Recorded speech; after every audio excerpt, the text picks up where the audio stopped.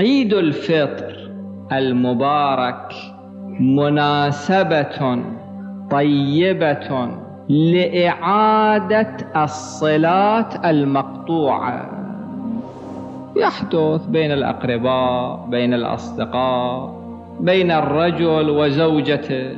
يوم عيد الفطر ينبغي أن نجعله عيد الصلة أنه واحد. يصل أرحامه يصل أقربائه يصل أصدقائه. إذا بينه وبين واحد كلام يحاول أن يرفع هذه القطيعة. الآن خش مناسبة لذلك. هذا العمل يرضي الله سبحانه وتعالى وفيه آثار وضعية كبيرة.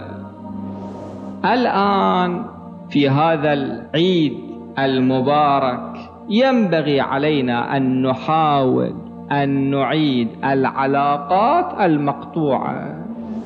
شوية يحتاج إلى إرادة شوية يحتاج إلى ضغط على النفس. لحظات واحد يذهب ويصالح.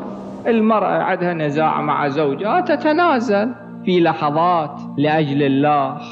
الرجل عنده خلاف. يتنازل في لحظات لأجل الله سبحانه وتعالى. لنجعل هذا العيد عيد الصله